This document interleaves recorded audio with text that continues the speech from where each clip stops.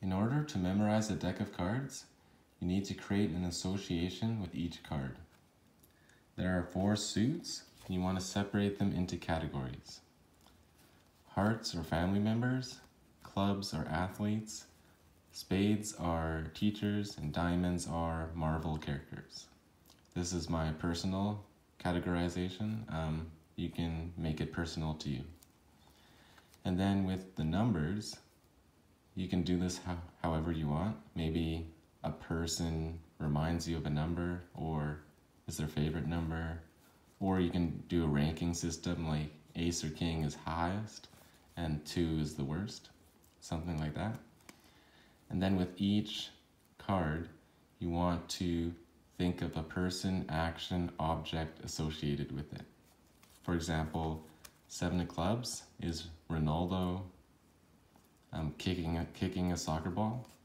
So first I saw his clubs, I knew it was athlete, and then Ronaldo kicking a soccer ball.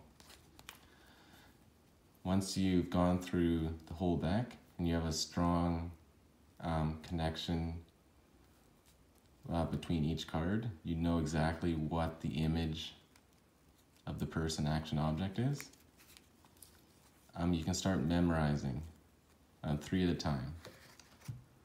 Where the first card is the person, second card, action, third card, object.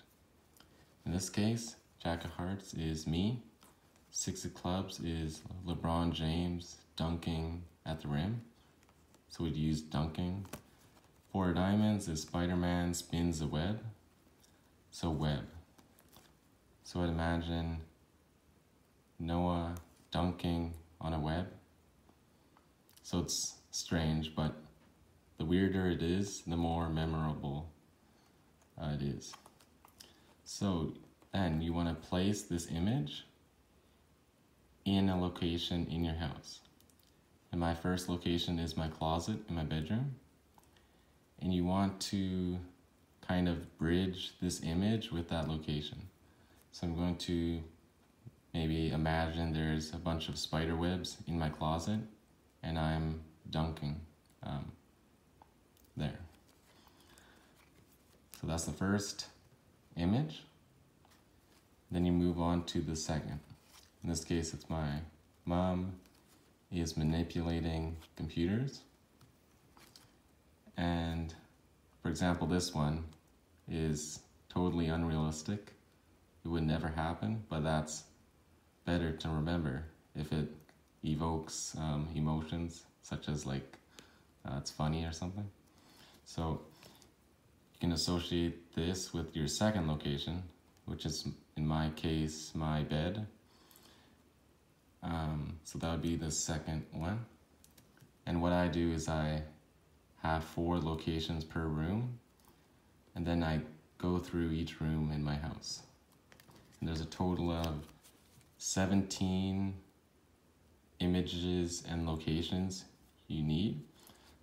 So you actually don't need to memorize 52 cards. You're remembering 17 combinations of three cards and one extra one at the end. But this um, makes this abstract data, like nine of diamonds, ace of diamonds, two of spades, and it turns it into something that we can remember because we can remember images or pictures or memories. So it makes it easier to recall. And then, once you've memorized the entire deck, you can walk through each location in your house. So first, I look through my closet and I remember it's Noah Jack of Hearts. Is dunking six of clubs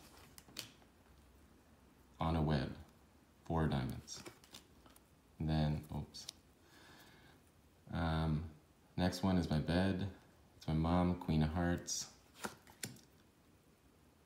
um, manipulating six of diamonds, uh, computer, seven of, heart, seven of hearts.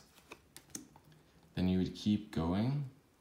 So all you're memorizing is 17 images in your head at 17 locations, and that translates to the cards.